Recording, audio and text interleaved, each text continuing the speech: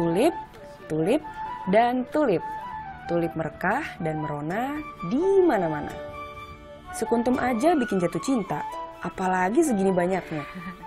Itu sebabnya selain bukti kebesarannya dan berkah bagi makhluk lainnya, bunga juga dimaknai sebagai cara Allah Subhanahu wa taala menganugerahkan keindahan bagi manusia. Masya Allah.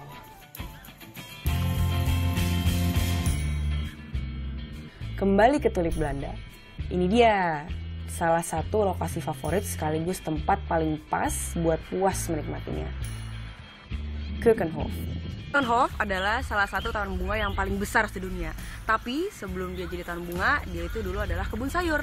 Karena ternyata Keukenhof itu artinya adalah kitchen's garden.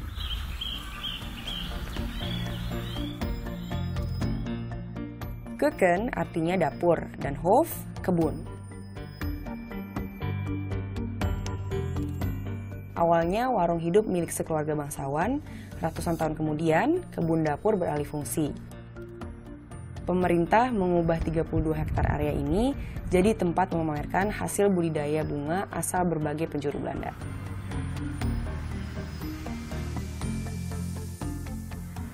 Taman yang dibuka tahun 1949 ini adalah salah satu tempat terbaik buat foto-foto. Makanya nih, kalau ke sini jangan lupa perkameraan, and also your look has to be photo ready. Saran nih, di lokasi kayak gini pilih look yang cerah biar selaras sama kemasannya.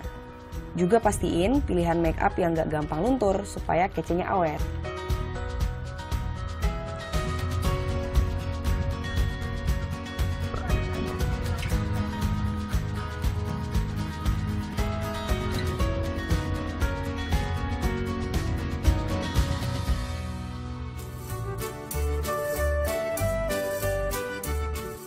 Keukenhof berpredikat the most photographed place in the world.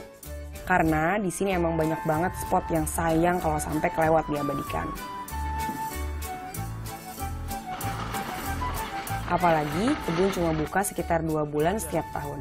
Biasanya awal musim semi, minggu terakhir Maret sampai pertengahan Mei. Jadi kalau udah siap semua kayak gini, tinggal pilih mau pose di mana, ya kan?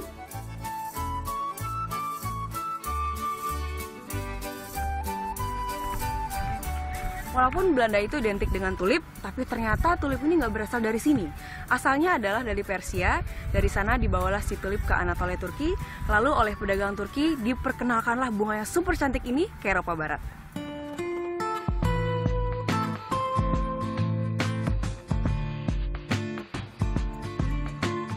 Di Turki, lale disebutnya. Nama ini diambil dari bahasa Persia yang artinya lili. Kekaisaran Bizantium dan Ottoman sangat mencintai bunga ini. Ditanam di berbagai penjuru, lale juga menghias peribuan benda seni. Bahkan, para sufi menyematkan pula lale dalam bait-bait puisi. Lale atau tulip dibawa dari Istanbul ke Eropa di abad ke-16, pertama ke Vienna, baru ke Belanda. Di masanya, bibit tulip jadi hadiah, sekaligus simbol hubungan erat Kerajaan Ottoman dan Belanda.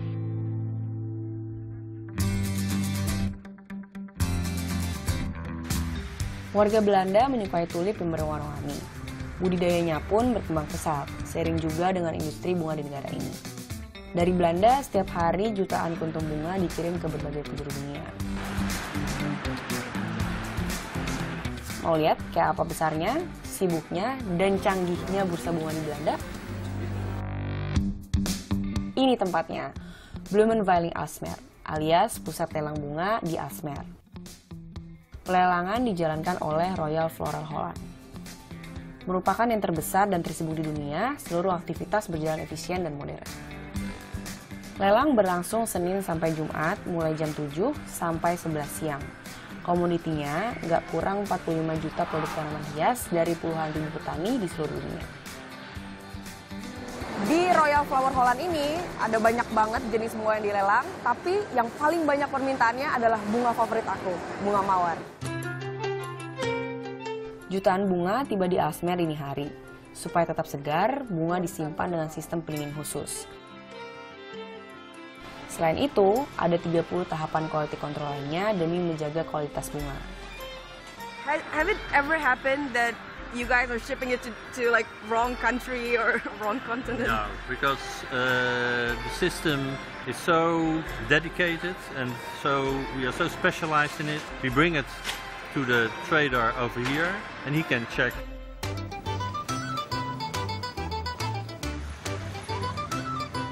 Menikmati bunga serta nuansa musim semi di Belanda, ini juga wajib disambangi. Lokasinya di tepian salah satu kanal utama kota Amsterdam.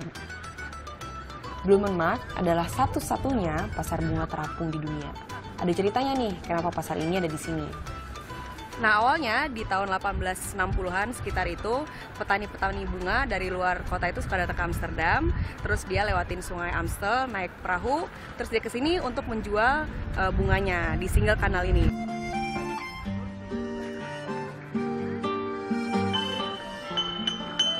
Halo, gitanya? Ada. Blumenmarkt juga jadi surga buat berburu cindera mata. Lucu banget. Souvenir yang dijual biasanya bertema sesuai perayaan atau musim. Di musim semi, pastinya pernik serba tulip jadi primadona. Dapet. Tapi lucu juga ya, bunganya diplastikin. Yap, Amsterdam itu cantik. Cantik bunganya, cantik kotanya, juga nuansa Islam yang makin merekah di dalamnya.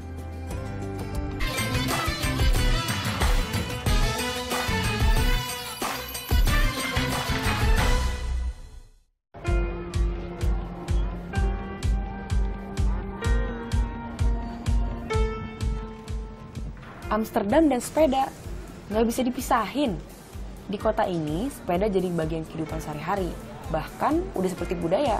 Lihat aja, orang-orang dengan asiknya goes ke berbagai tujuan untuk berbagai kepentingan dengan berbagai gaya. Seru banget kan? Sampai sekarang belum ada negara yang nyaingin Belanda soal sepeda. Amsterdam ini adalah salah satu kota yang paling ramah sepeda. Dan lebih dari setengah penduduk di Amsterdam emang lebih senang naik sepeda ketimbang naik transportasi yang lain. Sebenarnya nggak heran sih, soalnya pas aku bersepeda ini emang nyaman banget bersepedanya karena pemerintah itu memberi fasilitas, salah satunya adalah dengan ngasih jalur khusus sepeda.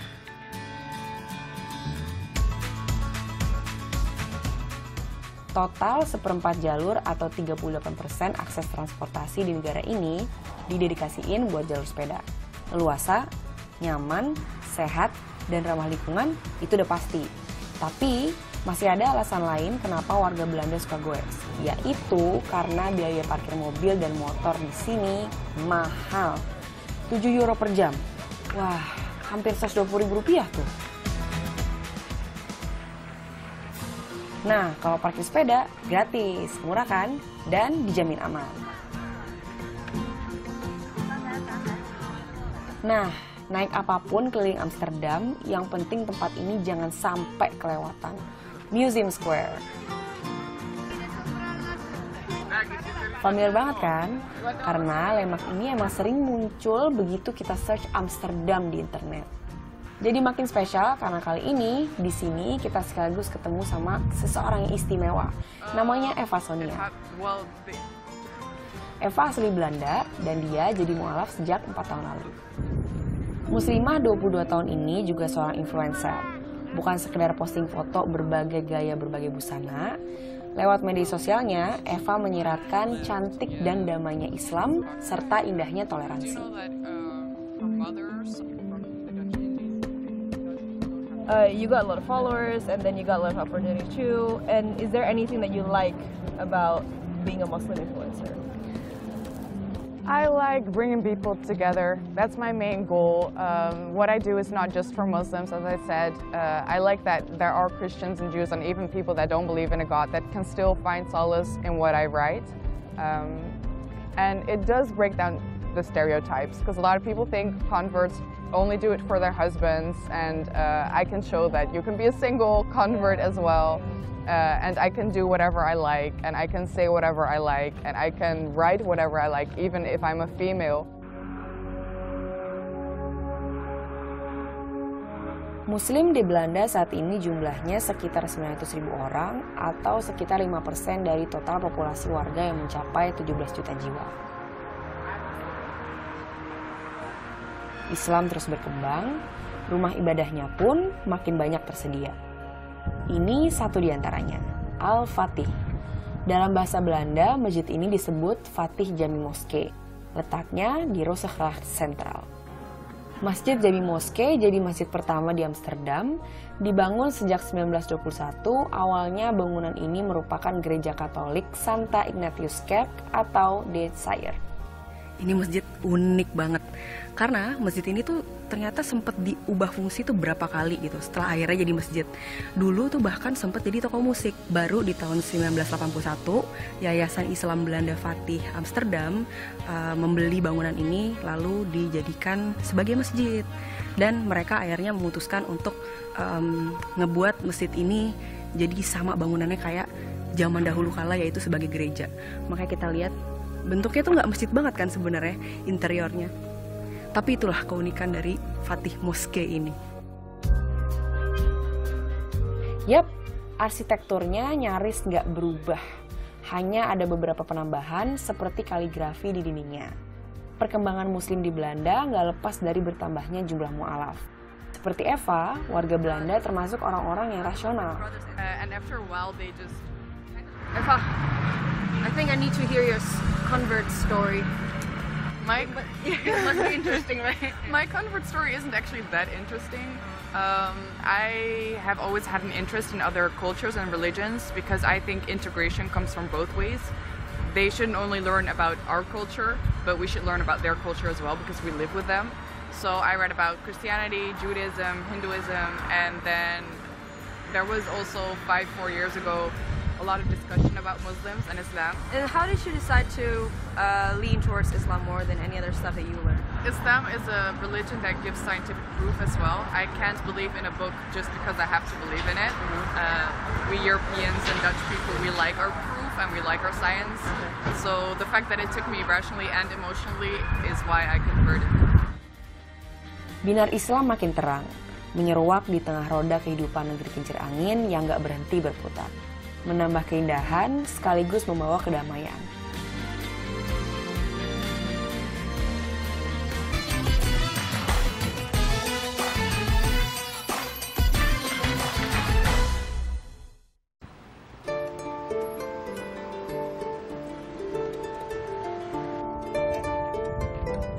Satu lagi yang identik banget sama Belanda, apalagi kalau bukan kincir angin. Masih ada ratusan kincir angin di Santero Belanda, sebagian besar berfungsi, lainnya direstorasi dan dipertahankan di museum. Di Amsterdam, ini satu di antaranya. Windmill van Sloten. Namanya sesuai dengan lokasinya, yaitu sebuah desa di sisi barat Amsterdam, Sloten. Berdiri tahun 1847, kincir ini berfungsi memompa air kembali ke sungai. Jadi semacam sistem antisipasi banjir gitulah. Oh ya, yang dari tadi nemenin sambil jelasin ini itu tuh namanya Fatah. Lengkapnya Robert Fatah. Fatah ini warga Belanda, berdarah Indonesia. Fatah jadi mualaf sekitar 4 tahun lalu. Cerita hijrahnya pun terjadi di Indonesia. When you first converted, um, how did you feel, or what did you experience? I was I was in Jawa Sunda when I uh, took my shahada at the Gunung Padang, situs Gunung Padang, and then there was a, a lot of build up to the moment of that uh, shahada because uh, uh, I knew I wanted to make a choice on that specific journey to Indonesia that I wanted to make a choice yes or no for Islam. And then finally over there when the sopir said he wanted to leave he said like okay i want to i want to pray. And then after that we leave. And that at that moment knowing that i would leave the situs i felt like oh wow i want to pray here. I want to pray and i want to pray with you together. And that's when i said uh, uh, mau mau sholat and mau bicara shahada and that's when I break down and cry and then from there on my Islamic journey begin began in Indonesia Fatah dan sejumlah mualaf serta muslim lokal Amsterdam mendalami Islam salah satunya di sini nih. PPME atau Persatuan Pemuda Muslim Eropa Al-Ikhlas. PPME Al-Ikhlas merupakan komunitas muslim Indonesia di kota ini. Cukup lama menimba ilmu, sekarang Fatah juga jadi salah satu pengajarnya. Dia mengasuh anak-anak di madrasah minggu. Kali ini, Fatah berkisah seputar Isra Miraj. Sambil bercerita, dia pun meminta para santri cilik menggambar buruk, makhluk yang menjadi tunggangan Nabi Muhammad SAW dari Masjid Al-Aqsa menuju Miraj. Buruk berarti cahaya atau kilatan. Fatah punya alasan khusus meminta anak-anak menggambarkannya. Fatah, Yeah. why did you ask the kids to make the buraks to draw it? Okay, so uh, I asked them. I asked them because uh, it can be very difficult um, to keep their attention, and uh, I'm learning now about how it is to teach the younger. Um, when when I'm asked to help with the other lesson, uh, we, we teach a, a group of children that is actually a little bit older Okay, okay. and uh, and now the youngest. Yeah, it's difficult because at one part I understand that they know more about the story of Isra wal Miraj than me, but at the same time it's, uh, it can be difficult to tell the story. And then how do we get it interactive and creative? Is by making them draw, Draw. the burak, Yeah. you know. Yeah, that's true. Madrasah menyatu sama masjid, jadi rumah ibadah, ruang belajar agama. Tempat ini masih punya fungsi lainnya, yaitu sebagai pusat kebudayaan Indonesia. Komunitas ini pun memberikan pelayanan bagi siapa pun yang ingin tahu, ingin belajar, dan ingin mendalami Islam, termasuk mendampingi warga yang ingin jadi Muslim. Berikut rangkaian prosesnya, seperti pada mualaf asal Bulgaria ini. Ashhadu Ashhadu an la Allah ilaha ilaha illallah illallah wa ashhadu wa ashhadu anna anna Muhammadan Muhammadan Rasulullah. Rasulullah. Takbir. Takjub, bangga, bahagia, campur-campur rasanya. Melihat langsung makin banyak orang yang menegakkan agama Allah. Insya Allah berkah bagi semua. Seperti firman di surat Al-Baqarah. Mereka itulah yang tetap mendapat petunjuk dari Tuhan mereka, dan merekalah orang-orang yang beruntung. Ketemu sama saudara muslim setanah air di PPME bikin berasa ada di rumah. Nah, masih ada cara menikmati Indonesia di Amsterdam dalam nuansa lainnya. Ini salah satunya. Hangat dan nikmat pokoknya. Gimana enggak? Berbagai cita rasa Nusantara, pengobat rindu kampung halaman dan keluarga ada lengkap dengan keramahan khas para pemiliknya. Ada beberapa sebenarnya resto dan warung Indonesia di Belanda. Kedai milik kakak beradik Amalia Lukna Santoso dan Rizal Aji Santoso ini salah satunya. 21 tahun berdiri, kedai merupakan usaha turun-temurun keluarga mereka. Pelanggannya nggak cuma Indonesia aja, sedikit justru warga lokal yang jatuh cinta sama cita rasa Nusantara. Pilihannya banyak, rasanya enak, dan halal. Alhamdulillah nikmatnya.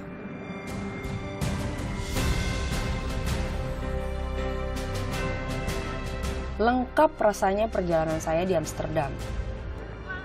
Puas melihat cantiknya kota,